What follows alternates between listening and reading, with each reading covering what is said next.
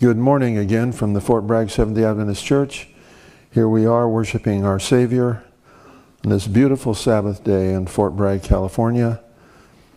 We welcome all that have tuned in. We welcome Bruce, Sam, some loving folks in Texas, El Paso that we know are watching, and even Limo out in Africa. He's probably tuning in today. So we love Limo. He contacted us many years ago and he's still hanging in there. Amazing. Someday we've got to meet Limo. We just have to know who he is, and maybe we can have that happen on this earth. If we know it'll happen in heaven, but maybe it can even happen on this earth. So welcome everybody. This morning we're going to talk about Jesus. What a subject to be talking about on Sabbath here. Jesus, our Savior. The title is Has Jesus Touched You? And me? Has Jesus touched us? So let us, uh, let us ask God to be with us again, as we always must do. Eternal Father, we're thankful this morning to be in your presence again. We invite you to be with us as we study your word. You've left us the scriptures as a pathway to the kingdom of God. It gives us a pathway to know what will happen we know the end of the story. The end of the story is Satan is defeated. Jesus wins. He's already won. May we understand that in its depth and its fullness. Bless us today as we study with you. In Jesus' name, amen. We start this morning with words that were written many years ago by Lincoln. You've probably heard this before. More than 2,000 years ago, there was a man born contrary to the laws of life. This man lived in poverty and was reared in obscurity. He did not travel extensively. He walked Galilee many days. He possessed neither wealth nor influence. His relatives, well, they were just inconspicuous, uninfluential, and had neither training nor education. Imagine. In infancy, he startled a king. In childhood, he puzzled the doctors. In manhood, he ruled the course of nature. He walked upon the billows as if they were pavement and hushed the sea to sleep with his word. He healed the multitude without medicine. He made no charge for his services. He never wrote a book, and yet all the libraries of this country could not hold the books that had been written about him. He never wrote a song, and yet he was furnished has furnished the theme for more songs than all songwriters combined.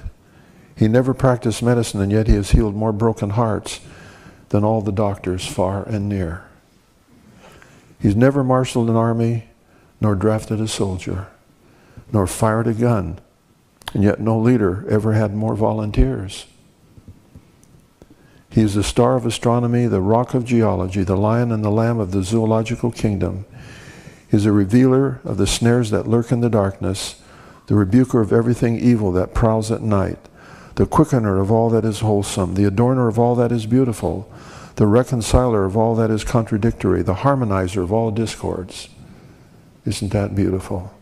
The healer of all diseases and the savior of all mankind. He fills the pages of theology and hymnology. Every prayer that goes up to God goes up in His name and is asked to be granted for Jesus' sake. The names of the past proud statesmen of Greece and Rome have come and gone. The names of the past scientists and philosophers and theologians have come and gone. But the name of this man abounds more and more, though time has spread 2,000 years between the people of this generation and the scenes of his crucifixion. And yet, he still lives. Herod could not kill him. Satan could not seduce him. Death could not destroy him. And the grave, the grave could not hold him. He stands forth upon the highest pinnacle of heavenly glory, proclaimed of God, acknowledged by angels, adored by saints, and feared by the devils as the living, personal Christ. This man, as you know, was Jesus Christ, our Lord and our Savior. Let's start with Matthew 9 35 and 36. The subject primarily focuses this morning on Jesus touching people. Matthew 9. And Jesus went about all the cities and villages, teaching in their synagogues and preaching the gospel of the kingdom and healing their sickness and every disease among the people. But when he saw the multitudes, he was moved with compassion on them, because they fainted and were scattered abroad as a sheep, having no shepherd. Here we have the first clue as to how Jesus operated and how he dealt with people at the time he was here on earth. He had great compassion on them. Here he had come from the throne room of the universe, guiding the planets and the billions of galaxies of stars, came down to earth and walked among us as a common person and touched people, touched people, and healed their minds and their diseases. Let's go to Mark 1. We're going to have a lot of Bible this morning. Mark 1, starting with verse 34 and onward. And he healed many that were sick of diverse diseases, and cast out many devils, and suffered not the devils to speak because they knew him. So Satan's angels knew the Savior. Caiaphas, Annas, the high priest, did not seem to know Jesus, but the angels of Satan knew him. Isn't that interesting? And the morning rising up a great while before day, he went out and departed into a solitary place, and there prayed. And Simon and they that were with him followed after him. And they had found him, they said unto him, All men seek for thee. And he said unto them, Let us go into the next towns, that I may preach there also. For therefore came I forth. And he preached in their synagogues throughout Galilee and cast out devils. And there came a leper to him, beseeching him and kneeling down to him, saying unto him, If thou wilt, you can make me clean. And Jesus, moved with compassion, put forth his hand. And what did he do? He touched him and said unto him, I will, be thou clean. In that day and age, if you touched a leper, you were considered unclean yourself. And as soon as he had spoken, immediately the leprosy departed from him, and he was cleansed. We next turn to Matthew 9:18 onward. While he spake these things unto them, behold, there came a certain ruler and worshipped him, saying, My daughter is even now dead, but come and just lay your hand upon her, and she will live. And Jesus arose and followed him, so did his disciples. And when Jesus came into the ruler's house and saw the minstrels and the people making noise, he said unto them, Give place. In other words, get them out of here. Said it kindly, but men, get them out of here. For the maid is not dead, but she sleeps and they laughed him to scorn. Can you picture that scene? But when the people were put forth, he went in and took her by the hand and touched her. And the maid arose, and the fame thereof spread abroad in all the land. Jesus had healed that girl. Here we have Jesus taking the hand of a small girl who had died and touched her. Again, we say that he was transferring her death unto himself to take it to Calvary. Our next story is Matthew 9:20. And behold, a woman who was diseased with an issue of blood 12 years came behind him and touched the hem of his garment. For she said within herself, if I but if I can just touch his garment, I will be healed. But Jesus turned about and said, Daughter, be of good comfort. Your faith has made you whole. And the woman was made whole from that very hour. We now turn to Matthew 9:27 onward. And Jesus departed hence. Two blind men followed him, crying and saying, Thou son of David, have mercy on us. When he was come into the house, the blind men came to him, and Jesus said unto them, Believe ye that I am able to do this? Do you think I can do this, really? They said unto him, Oh, yes, Lord. Then he touched their eyes, saying, According to your faith, be it unto you. And their eyes were opened. Their eyes were opened. We next turn to Mark 3:10 and onward, for he healed many, insomuch that they pressed upon him for as to just touch him. As many as had plagues, the unclean spirits, when he saw him, fell down before him and cried, saying, The unclean spirits, that's Satan's angels, folks. The Bible says, when they saw him, they fell down before him and cried, saying, Thou art the Son of God. Satan's angels. Here we have an amazing statement. Many of the Pharisees and such people as Caiaphas and Annas and Herod, they did not know who they were dealing with. They did not see him as the Son of God, but here unclean spirits who formerly were in heaven above were part of the throng of angels who surrounded God's throne until they sinned with Lucifer and were cast out of heaven. Down here on earth, recognize the Son of God, an amazing paradox. We turn next to Mark's, Mark 8 22 through 25.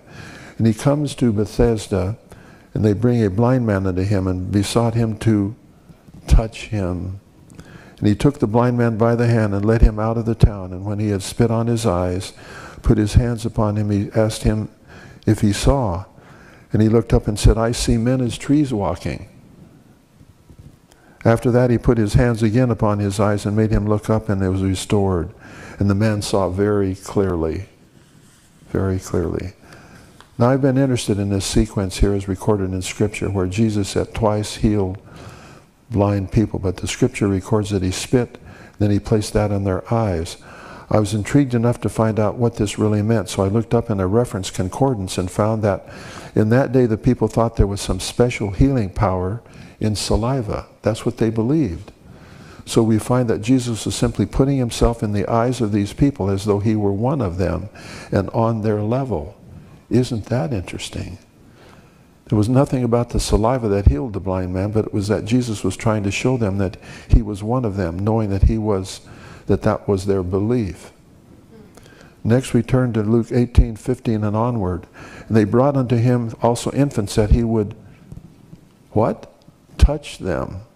But when his disciples saw it, they rebuked them.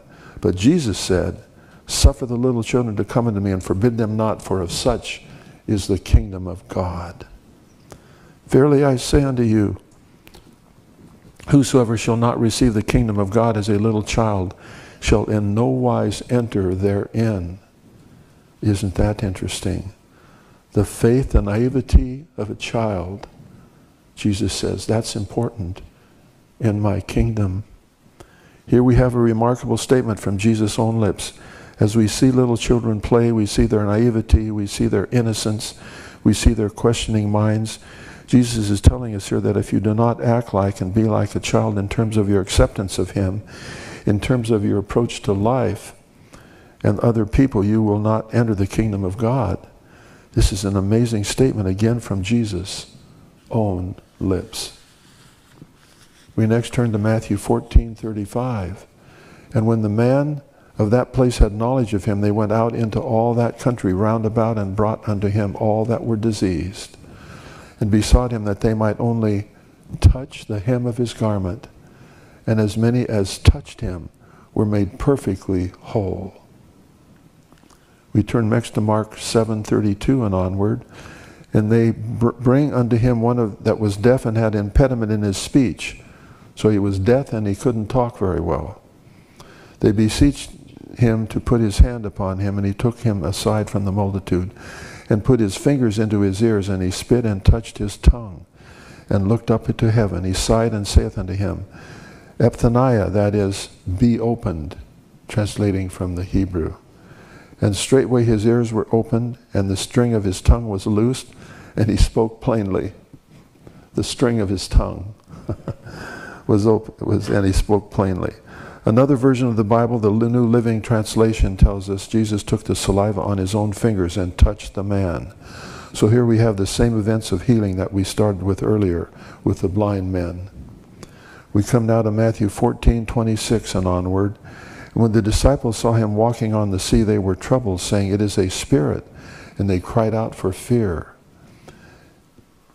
But straightway Jesus spoke unto them, saying, Be of good cheer, it is I. Be not afraid. If you read through the New Testament, you will find so many times the words, Don't be fearful, be not afraid. Over and over again, you read those words in the New Testament. Then Peter answered him and said, Lord, if, he, if it be thou, bid me come unto thee on the water. And he said, Come. And when Peter was come down out of the ship, he walked on the water to go to see Jesus. Can you picture that scene? But when he saw the wind boisterous, he was afraid and began to sink. He cried out, saying, Lord, save me. And immediately Jesus, what did he do? He stretched out his hand and touched him and caught him and said unto him, O thou of little faith, why did you doubt? He doubted because he took his eyes off of Jesus. And when they were come into the ship, the wind ceased. They that were in the ship came and worshipped him, saying, Of a truth, you are the Son of God. Here we have another example of Jesus touching his own disciples when he thought he was about to die.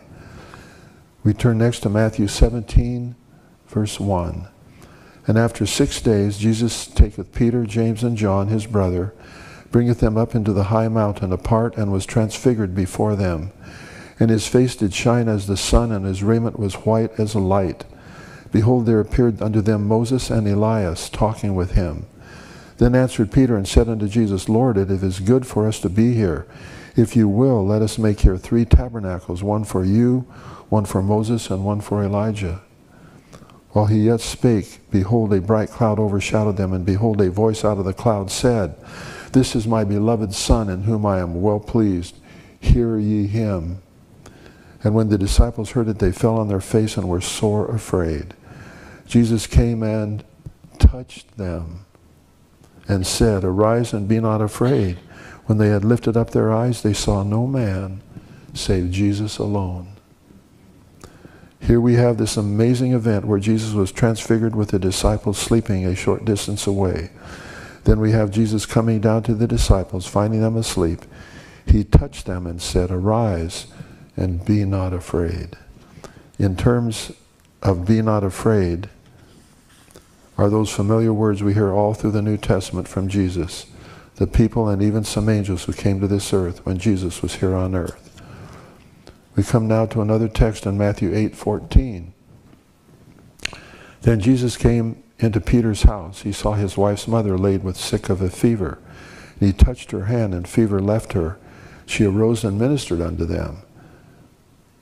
When the even was come, they brought unto him many that were possessed with devils, and he cast out the spirits with his word. Just his word cast out the spirits, and healed all that were sick, that it might be fulfilled which was spoken by Isaiah the prophet, saying, Himself took our infirmities and bare our sicknesses. From Isaiah. That comment made me think of Isaiah 53, where it says, Jesus will bear our iniquities. So I turned to Isaiah 53 You've read it many times. Let's review some of those verses here this morning, starting with verse 3. He is despised and rejected of men, a man of sorrows and acquainted with grief. And we hid, as it were, our faces from him, and he was despised, and we esteemed him not. This verse certainly refers to the cross of Calvary. Surely he hath borne our griefs and carried our sorrows, and yet he, we did esteem him stricken and smitten of God and afflicted. So here we have this word born, B-O-R-N-E, borne. He hath borne our griefs and carried our sorrows. But he was wounded for our transgressions, and he was bruised for our iniquities. The chastisement of our peace is upon him. But with his stripes we are healed. So here we have our iniquities were put upon him at the cross. All weak like sheep have gone astray. We have turned every one into his own way, and the Lord hath laid on him the iniquities of us all. Here we have the same theme that our sins are laid upon Jesus. We go to verse 11. He shall see the travail of his soul and shall be satisfied. By his knowledge shall my righteous servant justify many, for he shall bear their iniquities. What a beautiful sentiment that is. Here we have the same theme coming through when Jesus went to the cross. He bore our iniquities, and sin was transferred it to himself. Then another verse in chapter 53 that every time I read it, it just makes, it stuns me. We have these words from verse 10, Isaiah 53, verse 10. Yet it pleased the Lord, meaning God the Father, to bruise him. You mean to tell me God the Father was pleased when Jesus was on the cross? That's what the Bible says. This is saying that the eternal Father was pleased to have Jesus bruised on the cross so that we might be saved. Isn't that something?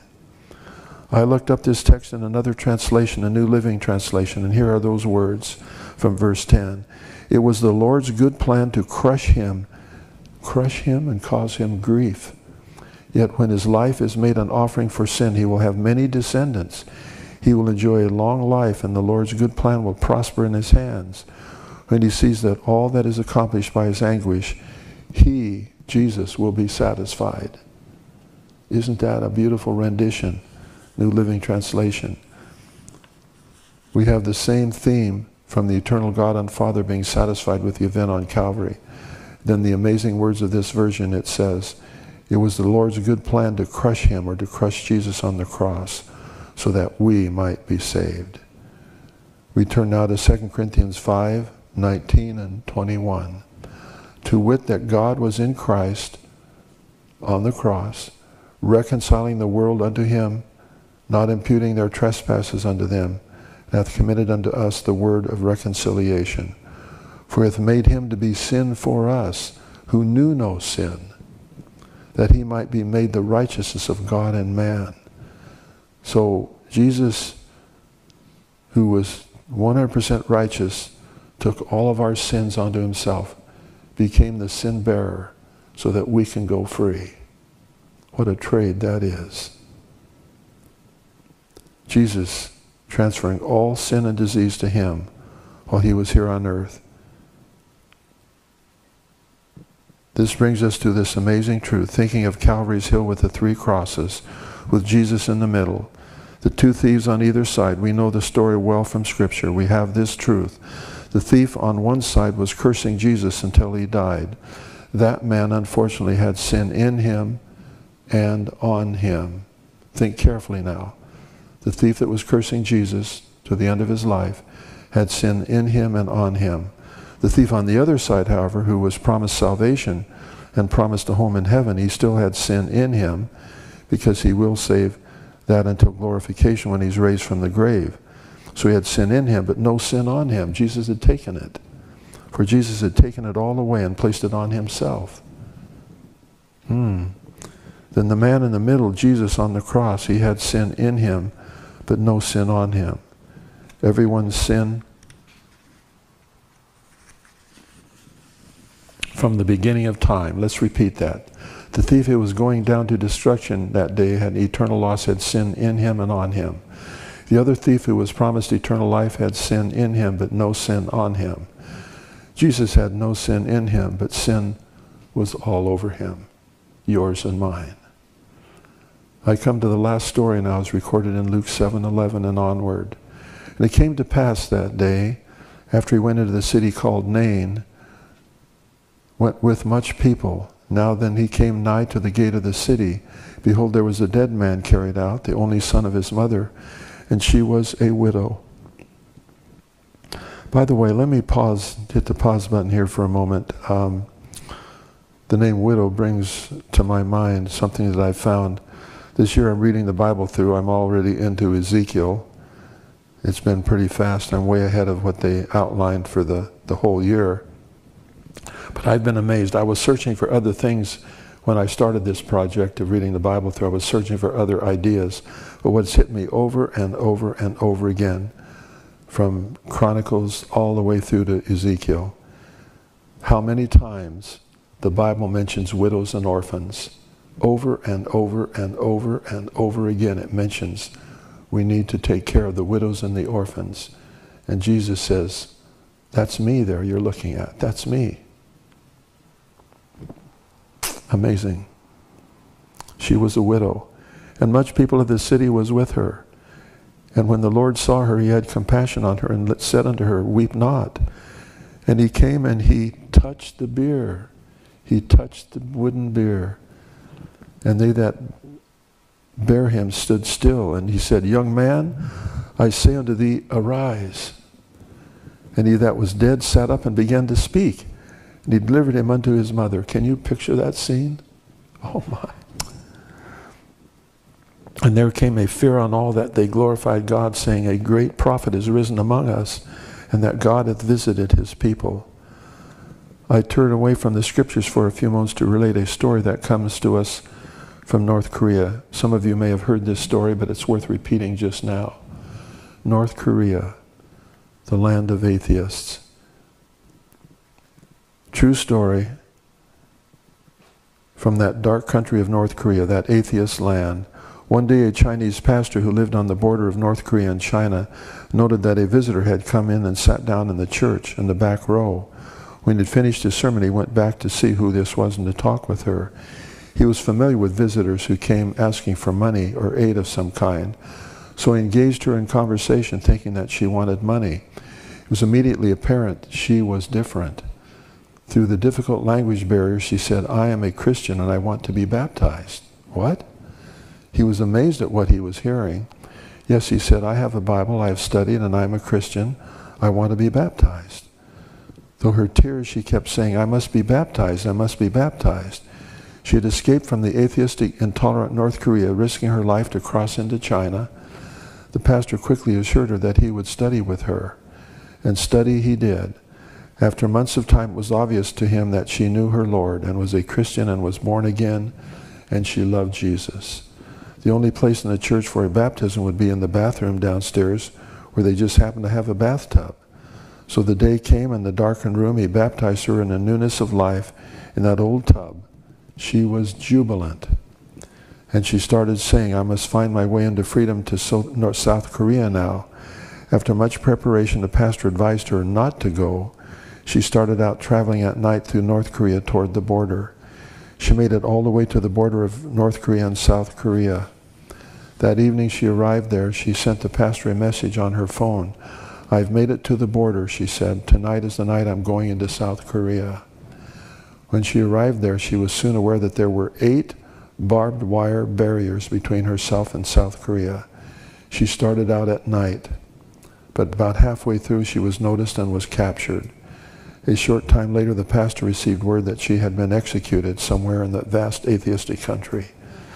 How she obtained a Bible, Bible is unknown. Her grave is likely unmarked. On the resurrection morning, when the trumpet sounds, she will come out of her dusty bed and likely meet her guardian angel first, and then look up and see Jesus coming in the clouds of heaven. That moment reminds me of the words of a song when all my labors and trials are o'er, and I'm safe on that beautiful shore. Just to be near the dear Lord I adore will through the ages be glory for me. When by his grace I shall look on his face, that will be glory, glory for me. The question comes to us Has Jesus touched us he touched you and me as he touched this little Korean lady. I decided, decided to look through my Bible in the New Testament and find verses that I think this North Korean lady probably had read and she was, as she was giving her life to Jesus. We start with John 10, 7, 27 and onward. My sheep hear my voice, and I know them, and they follow me. Interesting text, isn't it? My sheep hear my voice, I know them and they follow me. In other words, they know me too. I give unto them eternal life, and they shall never perish, neither shall any man pluck them out of my hand. My Father, which gave them me, is greater than all, and no man is able to pluck them out of my Father's hand. And I and the Father are one. This word pluck really intrigues me. The grasp is secure, for eternity. I looked this up in another version of the Bible called The Voice, which is a translation, not a paraphrase. We have these amazing words, quoting, My Father has given the flock to me. He is superior to all beings and things. No one is powerful enough to snatch the flock from my Father's hand. No one is powerful enough to take away from the Father's hand. Another place I found, quoting, No one is able to steal the redeemed from the Father's hand. Unquote. I think these verses apply to our friend from North Korea. Let's go next to Revelation 1:17. When I saw him, I fell at his feet as dead. He laid his right hand upon me, saying unto me, Fear not, I am the first and the last.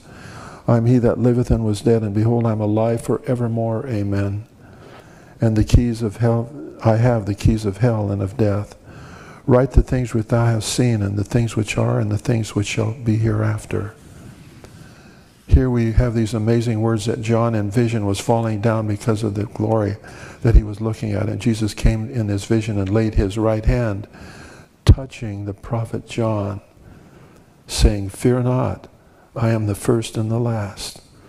Again, we have these familiar words that we hear in the New Testament over and over from Jesus was meeting people that were afraid, and he would say these words Fear not, my friend, fear not.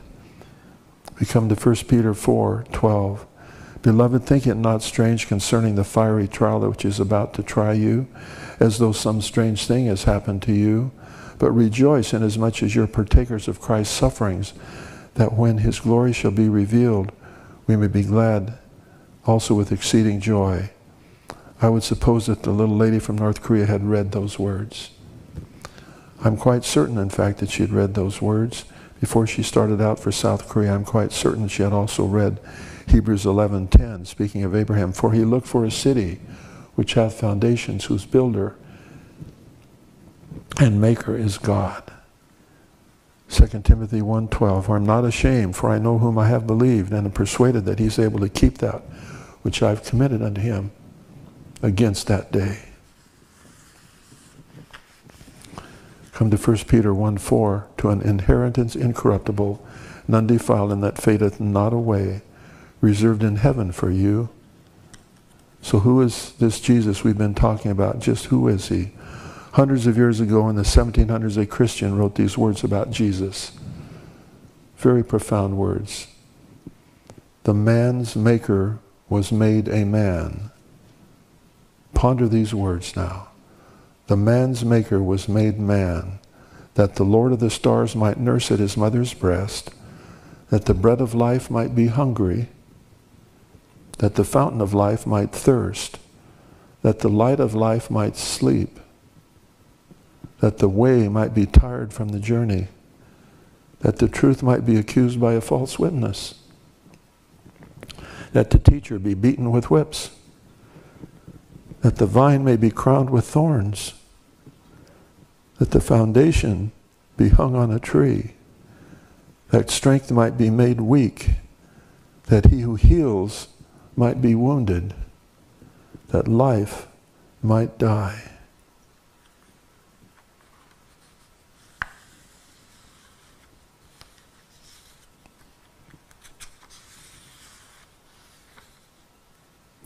When Paul understood the theme of these words, he would write, For me to live is Christ.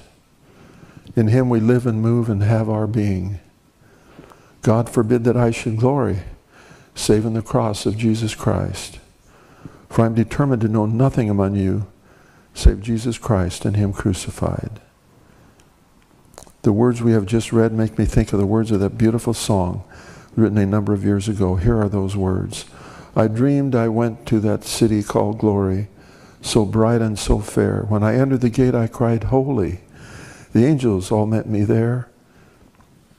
They showed me from mansion to mansion, and oh, the sights I saw. But I said, I want to see Jesus, the one who died for me.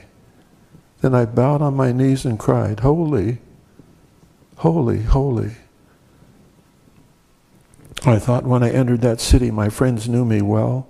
They showed me all through heaven. The scenes are too numerous to tell. They showed me Abraham, Isaac, and Jacob, and Mark, and Luke, and Timothy. But I said, I want to give praise to the one who died for me. I thought when I saw my Savior, oh, the glory to God. I just fell right down before him, singing praise to the name of the Lord. I bowed down and worshiped Jehovah, my friend of Calvary. I wanted to give praise to my Jesus for saving a sinner like me. Then I bowed on my knees and cried, Holy, holy, holy. From Revelation 22, we're closing now. We have these words that every Christian should take very seriously. For the great controversy is real and soars all around us. Revelation 22, 11 onward. He that is unjust, let him be unjust still. He which is filthy, let him be filthy still. He that is righteous, let him be righteous still. And he that is holy, let him be holy still. And behold, I come quickly, and my reward is with me to give every man and woman according as their work shall be. I am Alpha and Omega, the beginning and the end, the first and the last. Blessed are they that do his commandments, that they might have right to the tree of life and may enter through the gates into the city of God. I, Jesus, have sent my angel to testify unto you these things in the churches. I am the root and the offspring of David, the bright and the morning star. And the Spirit and the bride say, Come, and let him that heareth say, Come, and let him that is athirst come. Whosoever will, let him take the water of life freely. He which testifieth these things saith, Surely I come quickly. Amen. Even come, Lord Jesus.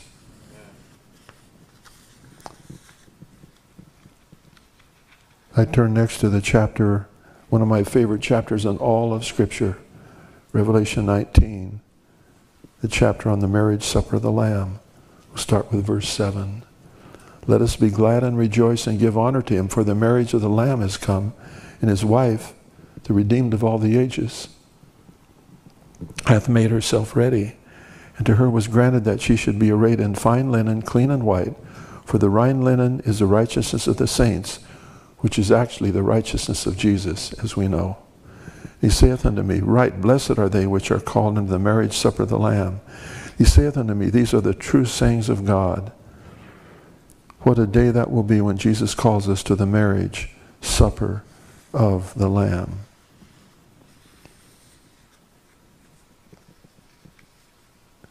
We need a closing song this morning. Why don't we just pick He Touched Me? shackled by a heavy burden, neath of load of guilt and shame.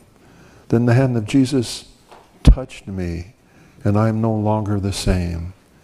He touched me, oh, he touched me, and oh, the joy that floods my soul.